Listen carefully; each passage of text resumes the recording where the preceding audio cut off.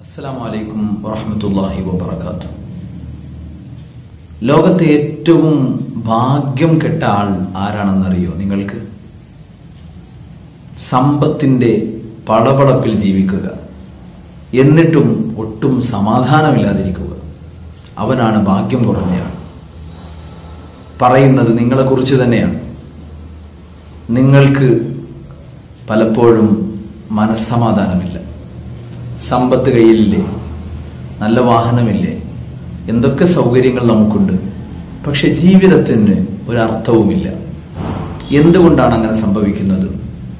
നാം അനുഭവിക്കുന്ന സുഖങ്ങളുടെ മൂല്യം അറിയാത്തത് കൊണ്ടാണ്. അതിമോഹങ്ങളുടെ മലവെള്ളപ്പാച്ചിലിനിടക്ക് നാം എത്തിപ്പിടിച്ച സംവിധാനങ്ങളുടെയും സുഖങ്ങളുടെയും മൂല്യത്തെക്കുറിച്ച് ബോധ്യമില്ലാത്തത് കൊണ്ടാണ്.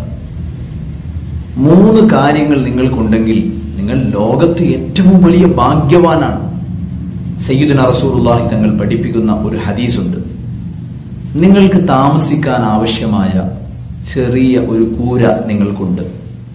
ആ വീട്ടിൽ വെയിലും മഴയും ഒന്നും കൊള്ളാതെ നിങ്ങൾക്ക് കഴിയാം. വീട് വളരെ ചെറുതാണ്. പക്ഷെ നിങ്ങൾക്കതിൽ സുരക്ഷിതത്വമുണ്ട്. നിങ്ങൾക്ക് ശരീരത്തിന് ആരോഗ്യമുണ്ട്. ജോലി ചെയ്ത് ജീവിക്കാൻ നിങ്ങൾക്ക് സാധിക്കും. രണ്ടാമത് നിങ്ങളുടെ ഭാഗ്യം ആ ആരോഗ്യമാണ്. മൂന്നാമത് നിബിതങ്ങൾ പഠിപ്പിച്ച ഒരു കാര്യം. ഇന്ന് കഴിക്കാനുള്ള ആഹാരം നിങ്ങളുടെ കയ്യിലുണ്ടോ? നാളത്തെ കാര്യം നാളെയല്ലേ.